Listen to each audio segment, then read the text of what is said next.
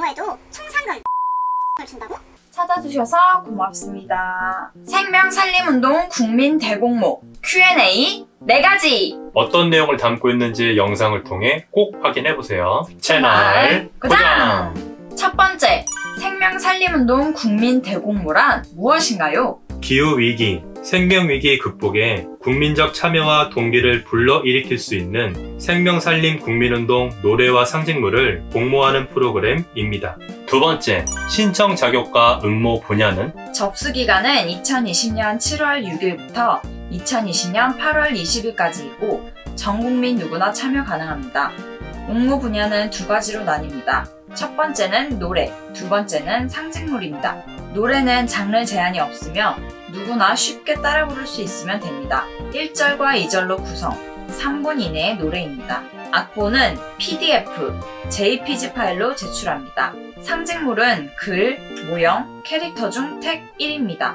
규격은 A3, 기본 컷 1컷, 응용 컷 3컷입니다. 세 번째, 접수 방법은 제출 서류는 참가 신청서 및 서약서 각 일부이며 홈페이지 다운로드 후 작성하면 됩니다. 접수 방법은 두 가지가 있습니다.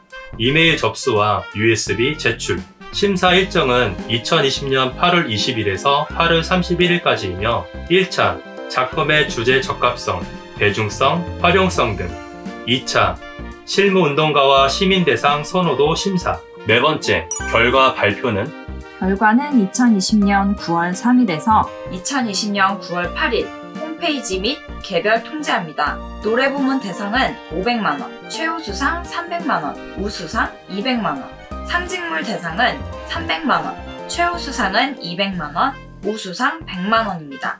문희천은 새마을운동 중앙회 50주년 기념 사업추진위원회 031-620-2395로 문의하시면 됩니다.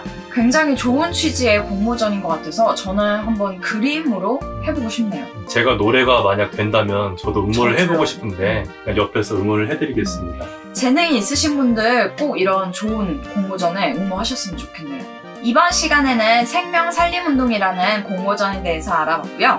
다음 시간에도 더욱 알찬 정보로 찾아오겠습니다. 더 많은 정보를 계속 보고 싶다면 구독, 좋아요, 알람 꼭 잊지 마세요. 지금까지 시청해주셔서 고맙습니다.